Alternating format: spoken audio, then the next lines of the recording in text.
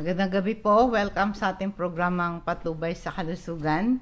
At nais ko po kayong anyayahan na uh, e- e- nyo po itong i-share, like or follow yung ating programa dito sa Facebook. Yan po ang aking official Facebook page, Patnubay sa Kalusugan.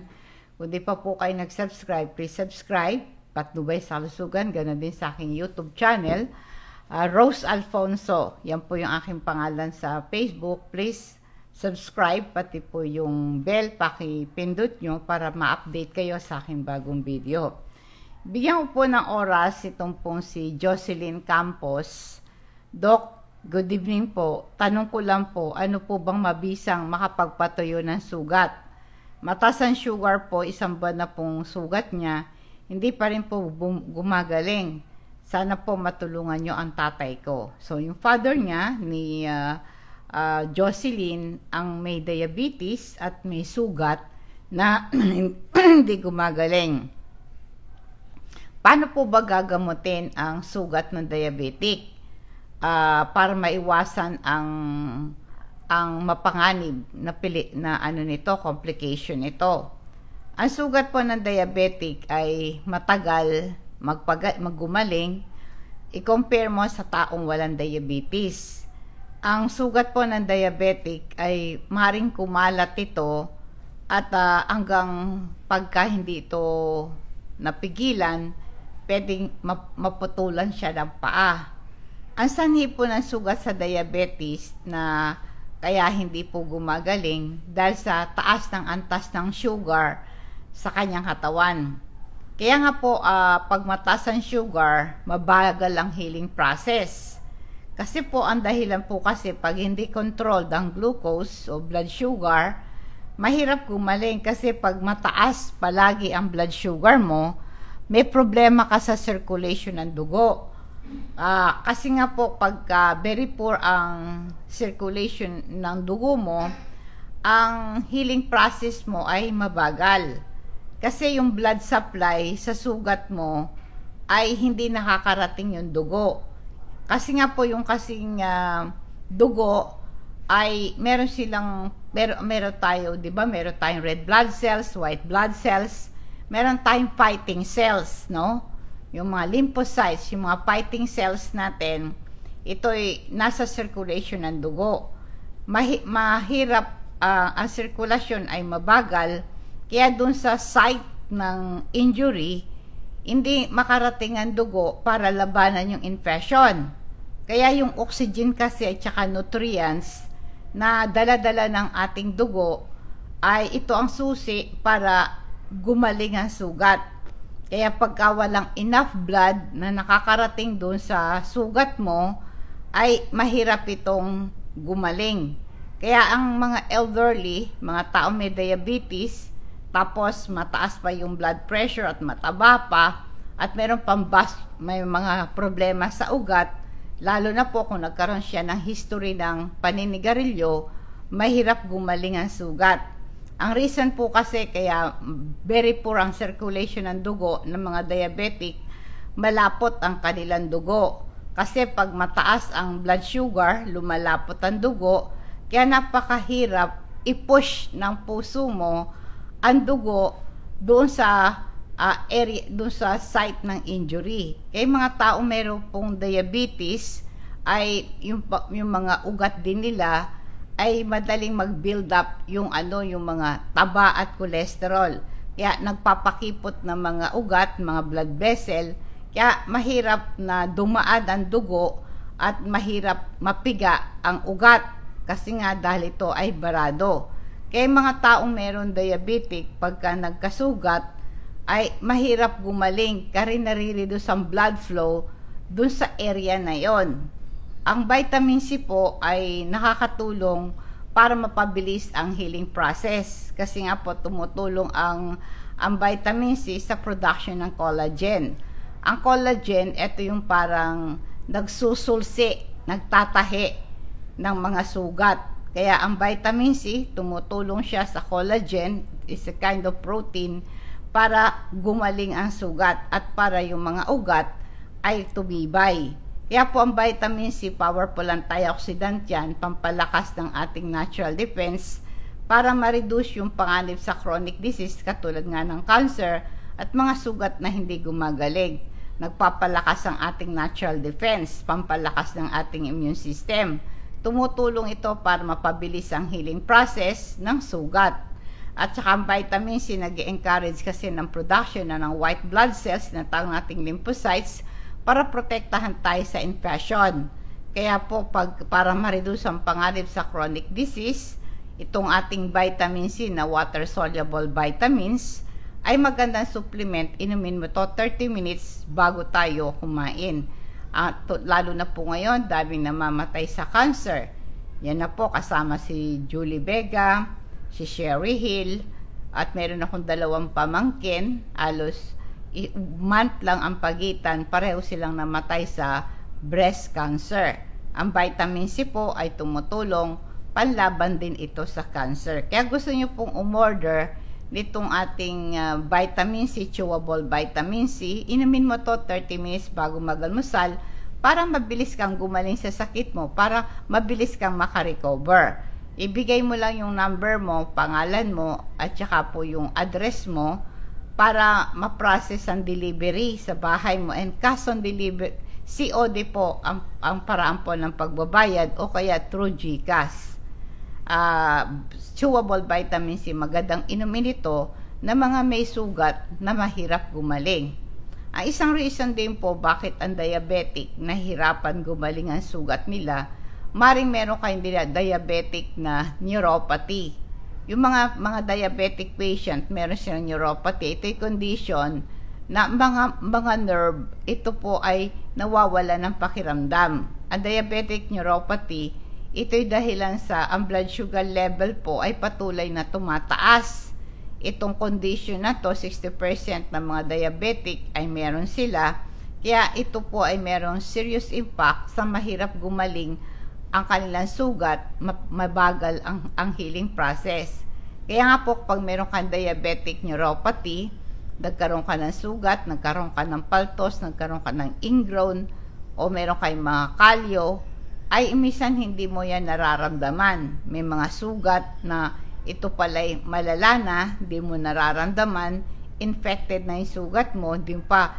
Meron po ako naging pasyente, no, yung kanyang kapatid, ay nagtitinda siya, lagi siyang nakaupo, nang, nangamot siya, nakalmot niya yung katikati ng kanyang tagiliran. Kinamot niya ng kinamot dahil busy siya, hindi, hindi niya nararamdaman na masakit. Pagkakita niya, lumalapad, lumalapad, lumalapad yung sugat niya, hanggang buong pisngi ng puwet niya ay kumalat ang sugat.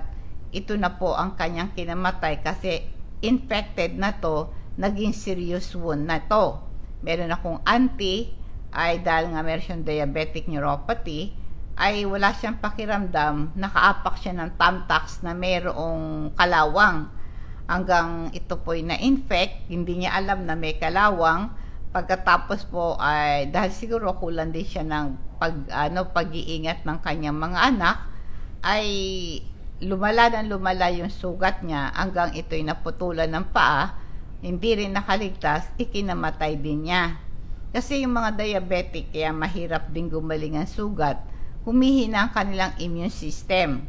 Uh, maraming mga medical condition, apektado yung immune system. Kaya pag diabetic ka, ang immune system mo ay ano, mahirap niyang labanan yung wound infection. Hindi niya makontrol. Kasi pag mataas ang sugar, uh, sa kanyang dugo, ang defense system mo, ang immune system mo, mabagal siyang kumilos. Kaya nga po, pagka mahina ang depensa mo, pagka mataas ang sugar mo, ay ang, mihina ang body's defense mo. Nare-reduce ang natural immunity mo. Uh, kaya nga po, uh, pagka ikaw ay diabetic, ang, ang, ang, ang dugo natin hindi nagfa-function ng mabuti, at nare-reduce yung natural immunity.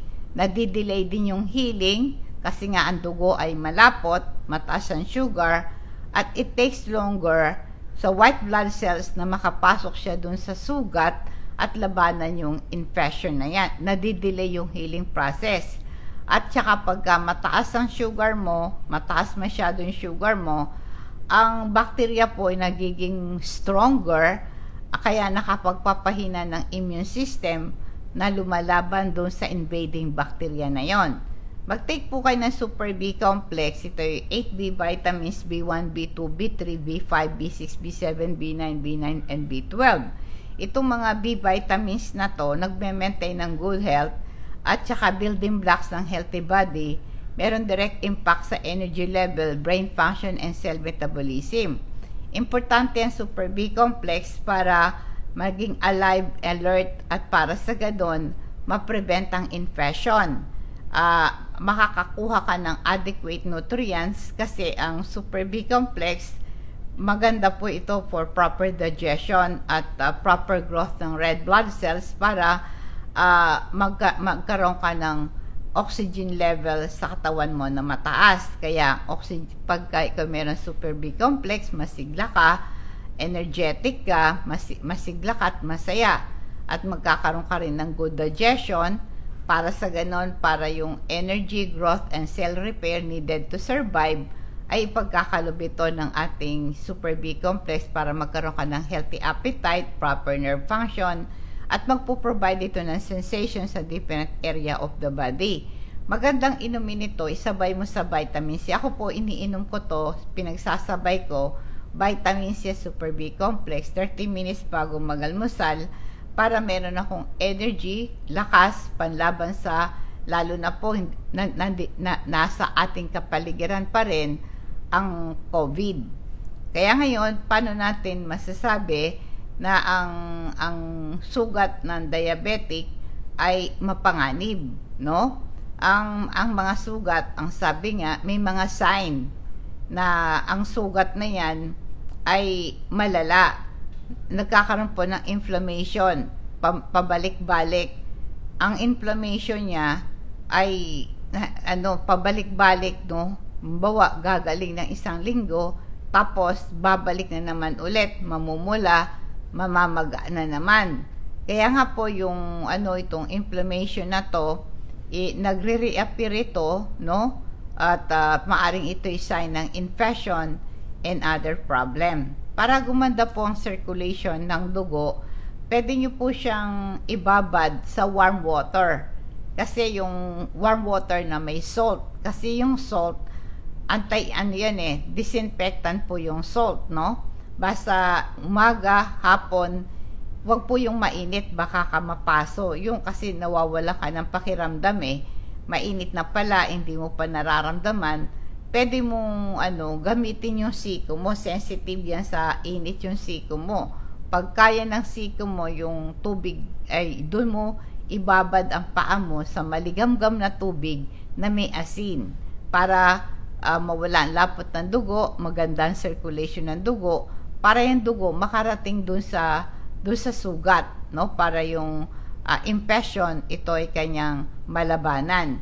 So mga 30 minutes yan, warm water na mayroong asin, ilublog mo yan maaring 3 times a day. Pagkatapos patuyuin mo at uh, painitin mo, paarawin mo, pahanginan mo para sa ganon mabilis ang pagtuyo ng sugat. Ang biyanan ko po nung diabetic nga, nakaapak siya ng ano ng apoy, yung charcoal na nagbabaga. Ang laki-laki ng sugat niya. In hospital siya, hindi siya gumagaling. Yun ang uh, ang kahit pag dinadalaw ko siya, nilalanggasan ko yung sugat niya. Basta binubuhusan ko lang ng warm water na may salt, mga 10 to 15 minutes, pinapatuyo ko. Tapos sinalagyan ko siya ng charcoal yung charcoal, 'di ba, nasa ano 'yon, nasa capsule, no? Kukuha ko ng gasa, ibububod ko doon yung charcoal, tapos papatakan ko ng crystal oil. Tapos 'yon, itatapal ko doon sa sa kanyang sugat. Sa awa na po ng Diyos, gumaling yung sugat niya. Yun ang nagpagaling sa kanya. Yung crystal oil na yan, marami pong nagagawa yan. Meron siyang cooling effect Maganda yan sa mga rayuma, sa arthritis, sa stiff neck, pananakit ng muscle, sa pulikat, pananakit ng paa, pananakit ng likod. pangangalay, sakit ng ulo, nare-relieve yung pain at irritation, pilay, pasa, nabukulan, pananakit ng lalamunan, baradong ilong, nakaka-relieve ito ng asthma, ta, cough, and cold.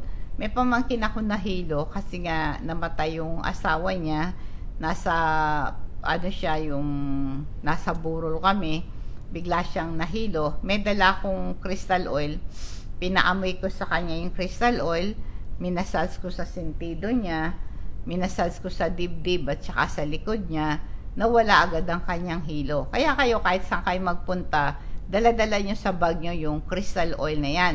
Pagkabarado yung lalamunan mo, ipahid mo. Pag hindi ka makahingas, langhapin mo siya. Pag sinisikmura ka, ipahid mo sa sikmura mo. Basta ang tiyan mo, ipahid mo sa tiyan mo. Ah, ito rin po yung pangalis ng sakit ng ulo, sinisikmura, dinidigay. Pagkatapos po, pag nakita kayo may epileptic, biglang sinumpong, paamoy mo sa kanya yung crystal oil, tapos i-massage mo yung sikmura, ay hindi po magtatagal, baba, ano, magiging normal siya. Hindi ka rin kakagatin ng lamok, pag, pag nangati ka dahil sa kagat ng lamok, mawawala yung katet, hindi ka rin kakagatin pag pinahiram ng crystal oil. Ang isang bote po nun ay 400 pesos, 60 ml. Pag bumili kayo ng tatlo, makaka-discount kayo ng 200. 1,000 po, tatlong bote. Ano po ba yung sign ng infection ng diabetic sore? Ito po kung pagka malalaman mong infected po yan, uh, hindi mo mahawakan yung yung yung yung yung yung sugat niya, no? Bawa, mo mahawakan. Masakit, tsaka mainit ang ano pagka ano infected na talaga yung sugat niya at merong tubig at may nana na lumalabas at merong mabahong amoy uh, at saka yung dulo ng sugat ay nangingitim at at saka nam, namamaho talaga kaya ito pong mga sugat na yan dapat ito ay binabantayan kaya ang, ang dahilan nga kasi kaya mahirap gumaling dahil sa nerve, nawawala ng pakiramdam, mihina ang immune system, at saka nasisira ang sirkulasyon ng dugo. Ang sirkulasyon ng dugo, kaya pinipigilan proseso ng pagpapagaling sa sugat. Kaya resulta nito, uh, nananatiling basa, bukas, at mahirap pagalingin ang sugat ng pasyente. Kaya, ma, kaya madaling kapitan ng infection na fungal, infection sa bakterya at nagkakaroon ng gangrene na mamatay yung laman. Kaya nga po para maiwasan ang panganib ng paglala ng sugat ng diabetic ay kailangan linisin lagi ang sugat. Lagi nyo pong linisin. Yun ang unang hakbang, tubig at uh, sabon. Pagkatapos patuyuin mo, pwede mong buhusan ng ng agwak sinada, no? Kaya po yung sugat ng diabetic dapat laging malinis, no? Uh, tubig at sapon lang. Kahit ito po ay dapat mag-apply kayo ng antibiotic na pamahid. Ito'y nire-recommenda ng doktor, yung pamahid na na ano na antibiotic para ang sugat ay walang mikrobyo. Huwag kalimutan ang regular na palitan ng ng ano ng uh, itong ano gasa, no? panatilihing malinis ang sugat at iwasan ang paglalagay po ng ano ng pressure doon sa sugat. Huwag kayong magsuot ng masikip na damit. At saka yung paa laging nakataas, huwag nakababa. Uh, kailangan po uh, kailangan po para hindi para mabilis wag lumala ang sugat ay kailangan po special ang, ang mga paa ninyo ay lagi niyong pinapat tinitingnan mabuti. Iwasan niyo po ang magpa-pedicure.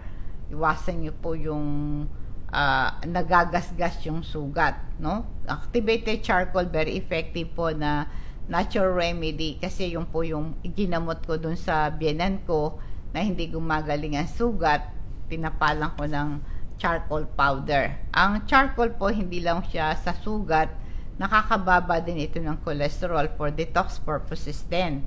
Nagtatanggal ng mga heavy metals, pollutant, and other toxin mula sa bloodstream dahil ito'y nag stay sa ating gastrointestinal tract at doon ina-absorb yung toxin. Up, mga 1 hour po na ininom mo yung activated charcoal, uh, kanya pong sinisip-sip yung mga toxin. Na kaya po yung activated charcoal din po pang control ng body odor, bad breath, ganon. Uh, ito rin po ay magandang uh, inumin pag lasing na lasing ka, tanggal ang pagkalasing mo, tanggal ang hangover mo. At ito rin po ay meron detoxifying properties, nag-eliminate ng body odor and bad breath. At ito rin po ay nakakalis ng kabag. Pagka kinakabag ka, tsaka na food poison ka, nag-LBM ka, madali pong uh, gamutin niya ng unactivated charcoal. Maganda po yan sa amoebiasis. Pag na-overdose ka sa gamot, na, na food poison ka, ang activated charcoal nag-absorb niyan. Makakatulong po yan sa inyo. Kaya pwede mong inumin ito tatlong activated charcoal capsule 1 hour before breakfast. Uh, ano ang sabi ko po sa inyo kanina kaya mahirap pagaling ang sugat dahil mataas po yung sugar mo. Pag hindi makontrol ang level ng asukal sa gudo, sa katawan, ay ang asukal sa dugo ay ito po ang nagpapahirap para gumaling ang sugat. Kaya kailangan po kumonsulta kayo sa doktor para makontrol ang sugar nyo. At saka ang mga infection sa ano sa sugat sa diabetes, minsan walang simptoma. Pag nakita mo na lang, ay nangingitim na yung sugat na yan. Kaya po ay ito ito yung laging ipapatingin sa doktor para maiwasan yung complication po, no? Kaya ano uh, para mapabilis ang pagpapagaling sa sugat, kailangan po tamang nutrition. Uh, mahalaga yung tamang pagkain na, na araw-araw tama yung kinakain mo. Meron kang sapat na protina, at kailangan din po ay uh, kailangan po ng tamang uh, pag-iingat no? Kailangan din yung vitamin C para ito ay gumaling kagad tumawag kayo ng doktor pag ang sugat lumampas na po ng 3 days hindi pa rin gumagaling at wala kayong nakikita ng sign ng gumagaling ang sugat ito'y dapat yung ipasuri na sa doktor.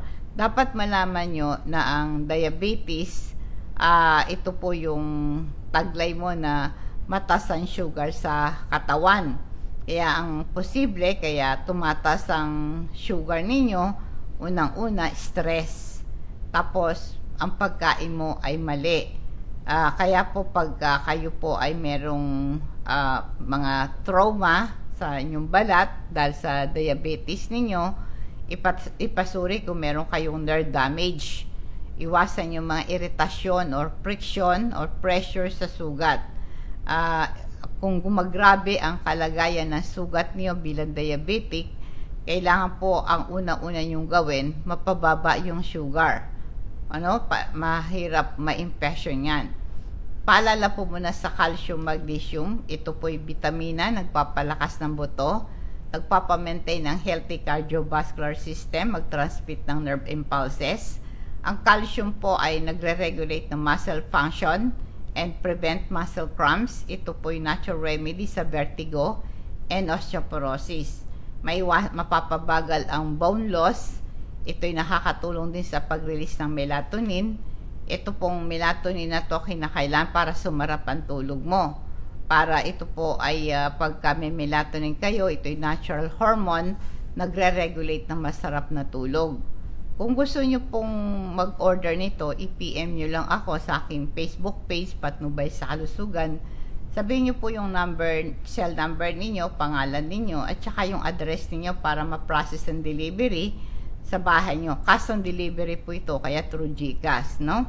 Ang sabi po ng, ano, ng isang doktor sa diabetic, no? Asuriin mo lagi daw ang paa mo kung may paltos o may hiwa, o may pamamaga, o pagbabago ng kulay ng sugat mo. Ay kailangan ito ugaliin yung protektahan ng paa ninyo gaya ng pagsuot ng tamang sapatos uh, sa loob at labas ng bahay ninyo. Iwasan na madisgrasya yung paa nyo. At kailangan daw po ay iwasan yung uh, sa paa yung mga maapakan mo yung matutulis na bagay kung bibili po daw kayo ng sapatos, ito ay kailangan tamang size, hindi masikip, hindi masyado naman maluwag. Kailangan siguraduhin ninyo na na ito po ay komportable ka. Suot mo, mag, pwede kang maglagay ng pad, magmedyas kayo para protekta ng paa mula sa pagkapinsala eh, injury. Huwag masyadong masikip, huwag masyadong maluwag. Pati ano po yung medyas nyo dapat laging puti ang gamitin ninyo, huwag kulay itim. Kali, at saka po yung mga daliri ninyo ay ito po ay yung mga mga kuko, ito yung babantayan. Pagkatapos maligo, patuyuing mabuti ang iyong daliri, ang iyong mga paa. Huwag mo yung pabayaan mabasa-basa, baka ikaw ay magkaroon ng mga uh, infection sa paa mo. Siguraduhin mo lang na tuyong-tuyo ang mga singit-singit ng paa mo pagkatapos mong maligo. Tsaka kailangan yung mga kakunin nyo ay gupiting tama. Iwasan nyo na po yung palagi ang nagpapapedicure. No? Alisin lang yung mga matutulis na parte ng kuko nyo regular nyong ipatingin sa doktor ang paa ninyo kung ano man sugat sa paa. Ito'y dapat lagyan ng laging malinis na gasa o kaya wound dressing. Iwasan ng mga pagsusuot ng alas sa paa, no? Iwasan yung matutulis na sapatos. Kailangan iwasan naglalakad na nakapaa. At saka kailangan po nito ay lagi nyo pong, uh, no, yung bang bago ka matulog, pwede mong sabunin ang paa mo at saka buhusan ng maligamgam na tubig tapos patuyuin mo yan lang po no kaya iwas para po mabilis gumaling ang sugat nyo hugasan lang ng tubig at sabon at banlawan siyang mabuti ng warm water at saka po ay kailan ito ay lagi nyo pong applyan po ng pulbos kung may sugat antibiotic cream tapos kubera ng bandage ang sugat para wag ma-impression. May mga halamang gamot tulad ng sabila, magandang gamot yan sa sugat. Pwede po yung uh, yung katas ng sabila o kaya yung sapal niya, ikuskus nyo sa sugat. Gamitin mo yung dahon na yan bilang gamot sa sugat. O kaya din po yung dahon ng bayabas, pwedeng panlanggas. Magpakulo kayo ng dahon ng bayabas, pagkatas langgasan nyo yan ng maligamgam na pinagpakuluan sa ano sa bayabas dalawang beses sa maghapon ito'y maganda sa sugat yung gano'n din po yung dahon ng oregano yung sariwan dahon nito ay pwede rin yung pong ikaskas sa sugat ang gano'n din po yung malunggay uh, dikdikin nyo lang po yung yung dahon ng malunggay pagkatapos ng hugasan yung paa itapal sa sugat no pagka para gumaling agad ang sugat mo. Basta dikdikin mo lang yung dahon, itapal mo yan, mabisa yan sa sugat. Ganon din po, mag-take ng omega-3 fatty acid. Meron siyang anti-inflammatory at saka very useful yan sa management ng inflammatory problems like asthma and autoimmune disease, arthritis. Ang omega-3, maganda yan sa mga may mga sugat, mga namamagal sugat, na infect na sugat, Maganda po ang omega-3. Maganda yan sa pampababa sa panganib sa sakit sa puso, nakakababa ng cholesterol at triglycerides, at naiiwasan yung paninigas ng ugat, naiiwasan po yung heart attack sa stroke. Very important din yung omega sa brain function and development. nag improve ng brain function, may iwasan ng memory problem. Ito yung kung may Alzheimer disease ka, pang-prevent yan ito yung magandang pan-sharpen ng ating memory. Kung gusto niyo pong umorder nitong mga fruit supplement natin, i-PM nyo lang ako sa aking Facebook page Patnubay sa Kalusugan. Bigay lang yung pangalan, address at CP number nyo para ma-process ang delivery. Ang paraan po ng pagbabayad, cash on delivery or through GCash, no? Kayo po ay nanonood sa aking Facebook page Patnubay sa Kalusugan Please follow, like, and share. Kung di pa po kayo nag-subscribe, please subscribe. Ganon din po sa aking Facebook page, Patnubay sa, uh, sa Rose Alfonso. Yan po ang aking Facebook, uh, YouTube channel. Uh, i-click lang po yung subscribe, pati yung bell para ma-update kayo sa aking bagong video. Ngayon po dadako tayo sa ating food for thoughts, Psalms 91, 1 to 3. Naghahangad ng pagkupkop ng kataas-taasan at nananatili sa pagkalinga ng makapangyarihan. At nagsasabi sa Panginoon, Ikaw ang aking muog at kanlungan, Ikaw ang aking Diyos.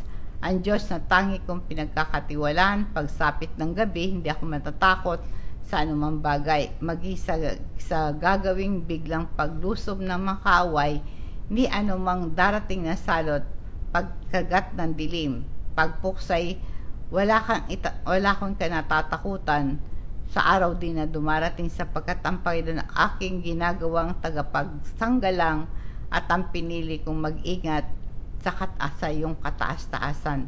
Kaya po ang pinakaligtas na lugar na pwede nating puntahan ay ang Panginoon. Ang ating pong Panginoon naghihintay sa atin, manalangin po tayo, call unto me, ang sabi niya, and I will answer you. Magandang gabi po, nawa pong pagpapala patubay na siyang sumatin, and God bless us all.